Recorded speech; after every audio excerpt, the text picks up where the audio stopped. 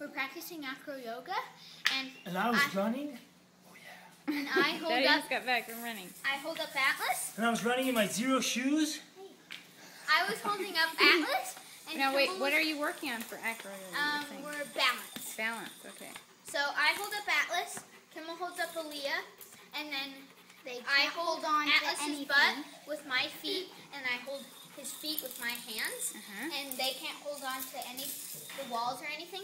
And Atlas and Aaliyah are fighting, trying to push down each other. Yeah. And whoever balances the longest wins. Awesome. So you try to keep balance. That's great. And it's hard for us too because we have to carry them while they're fighting. Nice. They wiggle and stuff. It's not King of the Hill, it's King of the Acro Stand.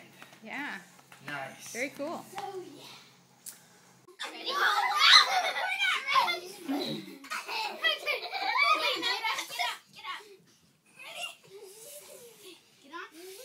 Wait, there's no fighting yet? Ow. Oh. Okay, let's just show balance real quick without fighting. Okay? Let's just ask. Let's balance without fighting, okay? Watch. No fighting, just balance. Okay, don't touch Atlas.